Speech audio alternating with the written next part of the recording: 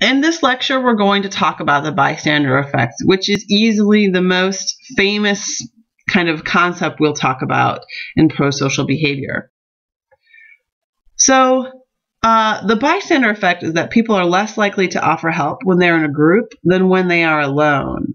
And there's this very famous case of Kitty Genovese, and I'm not going to give too much detail about it, but essentially, she was murdered in front of an apartment building, and there were a lot of people that watched her be murdered and didn't necessarily do anything about it. And this sparked a ton of outrage. And um, these two psychologists, Darley and Latané, were very interested in why it happened. And there's a link I have here if you want to learn more about this specific case. One of the reasons why the bystander effect occurs is because of diffusion of responsibility. And diffusion of responsibility occurs when there are multiple people around who could help, but it's not clear who should help. So, let's say this guy trips and falls, and then these people see it. Well, which of these people is the one who should be helping? If they're all kind of looking at each other being like, are you going to help? Am I going to help? I'm not even sure who's helping. Nobody's actually helping because the responsibility for helping this guy who fell is diffused across all of them. But if it were a single person, that single person might say, oh, it's my responsibility. There's nobody else who can help. I need to go help. Another reason why the bystander effect occurs is because we don't necessarily notice that there's an emergency.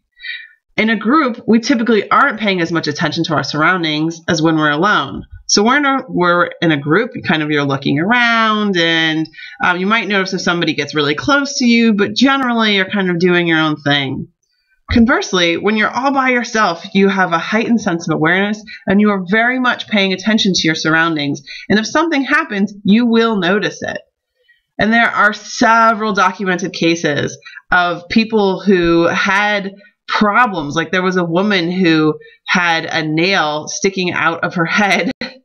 And uh, she was outside walking around other people, and nobody did anything about it. And most people just didn't even notice it because they really weren't looking for a woman to have a nail sticking out of her head. And so they just never even noticed that she had one. Informational social influence also affects or is a reason why the bystander effect occurs.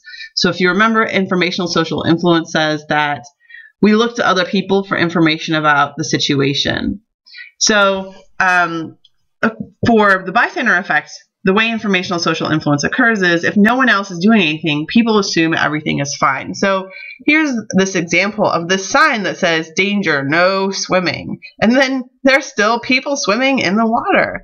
And what's happening is they're all looking at each other like, well, those people are swimming, so it must be okay. They must know something I don't, and it's actually just fine to swim here.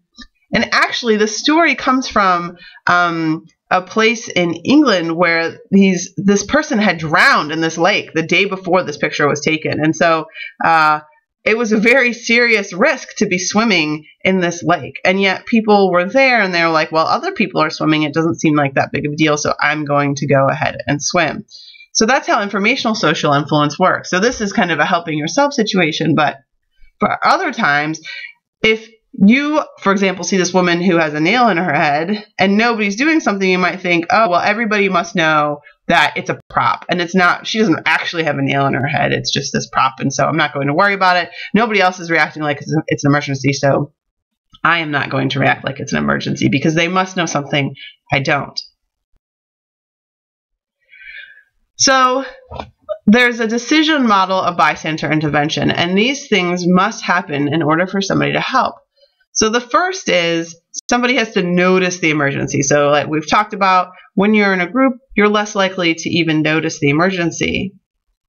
The next thing is that you have to label it as an emergency. So you have to say, okay, this really is a problem, and I am going to uh, do something about it, which is you taking responsibility. And then you say, okay, this is how I'm going to help. So you need to go through all four steps to actually get to helping. And when you understand how that um, there can be problems with each of those four steps, you can understand how when being in a group, it's much less likely that you're going to help than when you're on your own.